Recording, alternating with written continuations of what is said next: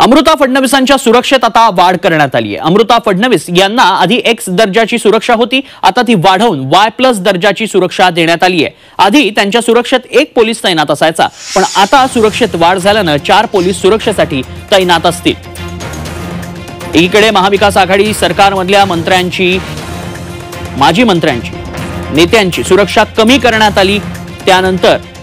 आता दुसरीकडे अमृता फडणवीसांच्या सुरक्षेत मात्र वाढ करण्यात आल्याचं पाहायला मिळत आहे राज्य सरकारचा सुरक्षा वाढवण्याचा निर्णय पाहायला मिळाला वाय प्लस दर्जाची सुरक्षा त्यांना देण्यात आली आहे.